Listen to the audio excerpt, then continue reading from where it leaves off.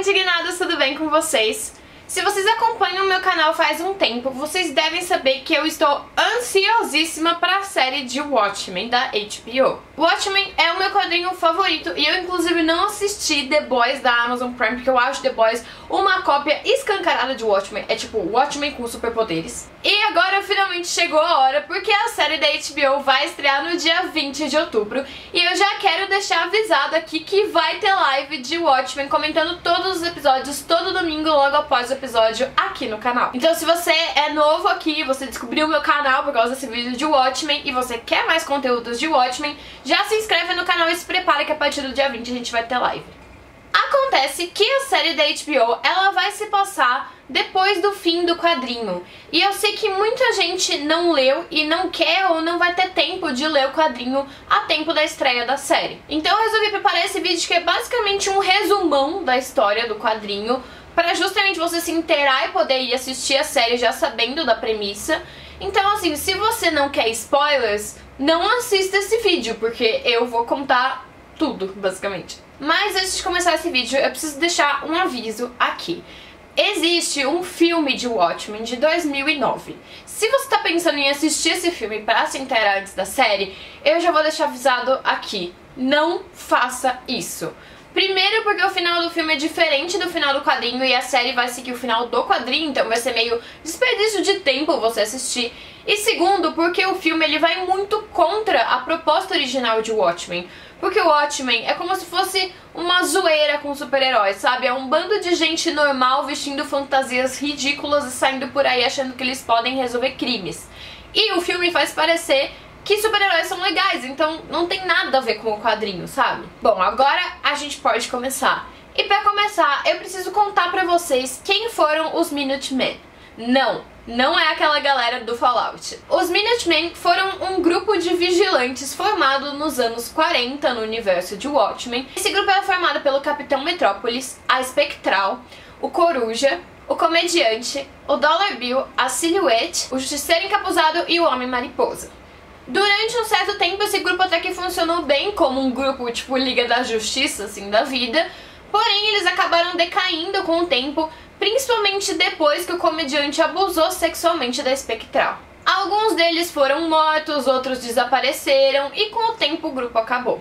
E para piorar, o Coruja resolveu escrever um livro em que ele revelava todos os segredos da galera que fazia parte dos Minutemen, com exceção da identidade deles, mas ele contava tipo todos os podres da equipe.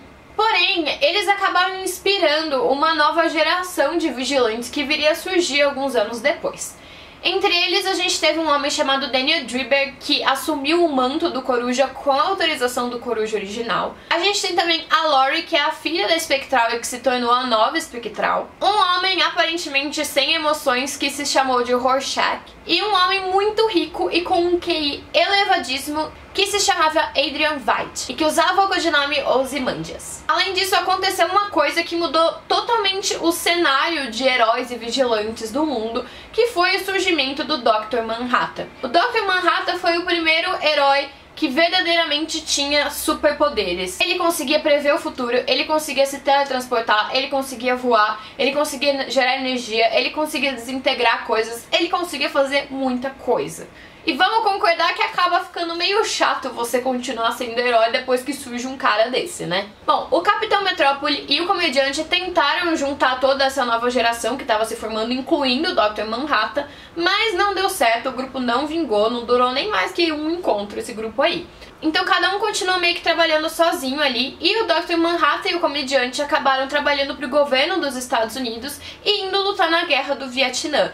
E graças ao Dr. Manhattan, os Estados Unidos ganharam a Guerra do Vietnã no universo de Watchmen, o que é a coisa assim que mais diferencia o universo de Watchmen do nosso universo, porque graças a isso muitas mudanças aconteceram no mundo. Conforme o tempo foi passando, a polícia acabou ficando meio incomodada com as ações desses vigilantes pelo país e começaram a ter uma série de protestos, até que em 1977 o governo dos Estados Unidos decidiu passar um, um ato, uma emenda, que proibia que as pessoas trabalhassem como vigilantes. a não ser que eles estivessem trabalhando para o governo, como era o caso do Manhattan e do comediante. Por conta disso, alguns deles, como a Lori, o Coruja e o Adrian, acabaram se aposentando, mas outros, como o Rorschach, continuaram agindo como vigilantes e fugindo da polícia. A história do quadrinho começa no dia 15 de outubro de 1985, quando o comediante é assassinado na própria casa dele e o Rorschach decide investigar o caso. Ele tem certeza que aquilo faz parte de uma grande conspiração para acabar de vez com aqueles que um dia foram vigilantes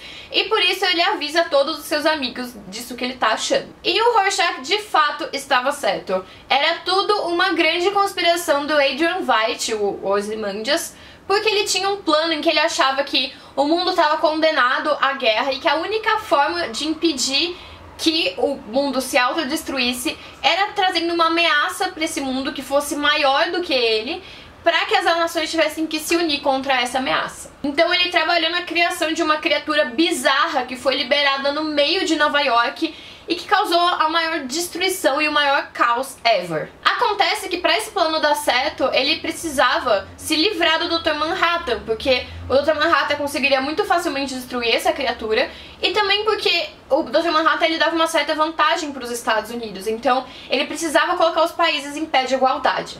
E para isso ele começou uma outra, tipo uma subconspiração, que foi meio espalhando uma fake news de que o Dr. Manhattan causava câncer nas pessoas. E ele meio que tipo manipulou várias informações para fazer isso parecer muito verdade. O comediante acabou descobrindo esse plano todo dele, por isso ele foi morto.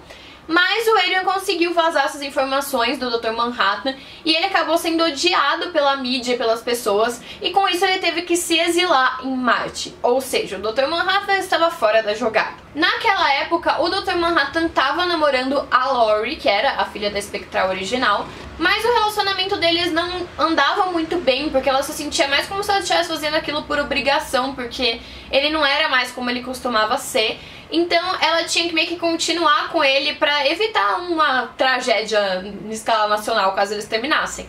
Com ele exilado na lua, ela meio que se viu sem ter o que fazer para onde ir, e ela acabou indo atrás do Coruja 2, que ela conheceu naquela reunião muitos anos antes, e eles acabaram se envolvendo e passando a ter um relacionamento romântico. O White sabia que o Rorschach estava investigando aquela situação, até porque o Rorschach foi falar com ele, né? Ele, é, ele foi um dos amigos que o Rorschach avisou. E ele tentou despistar o Rorschach, forjando uma própria tentativa de assassinato dele mesmo.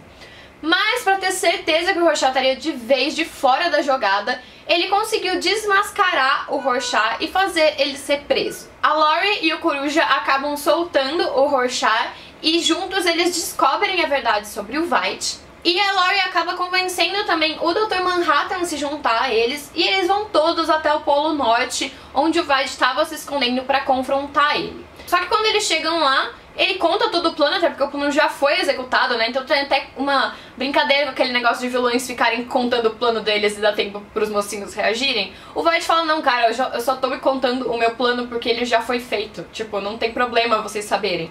E aí meio que não tem como voltar atrás, sabe? O monstro já destruiu a cidade, já matou muita gente. E aí o Dr. Manhattan ouve o White e ele fica, cara, realmente o seu plano faz sentido, tipo, realmente o mundo tava caminhando pra devastação e você conseguiu impedir, então eu não vou fazer nada com você. A Lori e o Coruja acabam concordando com ele, né? Meio que tipo, ah, já foi mesmo, né? O que a gente vai fazer agora? Mas o Rorschach é uma pessoa muito íntegra, muito justa, e ele tá disposto a entregar o White mesmo assim, o que faz com que o Dr. Manhattan acabe desintegrando o Rorschach. Mas não antes do Rorschach ter entregue num jornal local o diário dele em que ele contava toda a verdade sobre o White. Então, o quadrinho acaba meio que com essa dúvida de ele conseguiu ou não conseguiu denunciar o White. Será que o White vai ser descoberto ou não vai? E a última frase do quadrinho é quando o White vira pro Dr. Manhattan e ele pergunta se ele fez a coisa certa, né? Afinal, agora tá tudo terminado. E aí o Dr. Manhattan diz que nada realmente termina de verdade. Ou seja, é justamente o que vai acontecer agora, né? A série tá aí pra mostrar que nada de fato termina. Bom, e como tudo isso se relaciona com a série da HBO? A série vai se passar nos dias de hoje, então mais ou menos uns 30 anos depois dos acontecimentos do quadrinho de Watchmen, e a gente já tem alguns personagens confirmados nela. O White aparece em todos os trailers, ele aparentemente está, sei lá, forjando a morte dele ou qualquer coisa assim, tem várias especulações sobre o que ele vai estar tá fazendo nessa história. E a Lori, ela aparece como Lori Blake, que é o sobrenome do pai dela, afinal no quadrinho ela descobre que ela é filha do comediante, tem isso também. E ela agora é uma investigadora e ela também tá bem presente nos trailers. Além disso, tem vários indícios de que o Coruja e o Dr. Manhattan vão aparecer, afinal a gente vê a nave do Coruja. Tem aquele cara que diz que talvez ele seja o Dr. Manhattan. E também em um dos trailers tem um cara usando uma máscara muito parecida com a do Rorschach e agindo de um jeito muito parecido com ele, que tá todo mundo querendo entender quem é esse cara e o que, que ele tá fazendo ali, porque ele parece tanto com o Rorschach, já que o Rorschach foi desintegrado. Além disso, os trailers também mostram que dentro desse universo da série vai estar tá sendo exibida uma série que conta a história dos Minutemen, que eu comentei lá no começo. Então por isso que eu quis trazer para vocês a história de como os Minutemen surgiram antes da história dos protagonistas de Watchmen. Eu já tenho algumas ideias do que eu acho que vai acontecer na série, eu já tenho algumas teorias e eu já gravei um vídeo sobre elas, então se vocês quiserem saber quais são, clica no link que vai estar tá aqui nos cards ou depois na tela final desse vídeo. Se você gostou desse vídeo, não esquece de deixar o like, de se inscrever no canal e de ativar o sininho para ver os próximos vídeos. Eu queria agradecer os membros do canal por apoiarem o canal mensalmente. Então, muito obrigada João Souza, Paty Paratia e Lazuli. Se você quiser saber como faz para se tornar membro e quais são os benefícios, é só clicar em Seja Membro que vai estar tá aqui embaixo. E se você ainda não for inscrito e quiser saber mais coisas de Watchmen e quiser acompanhar as lives, não deixa de se inscrever que todo domingo, provavelmente às 11 e pouquinho, a gente vai estar tá aqui comentando os episódios que saíram toda semana. É isso, a gente se vê no próximo vídeo.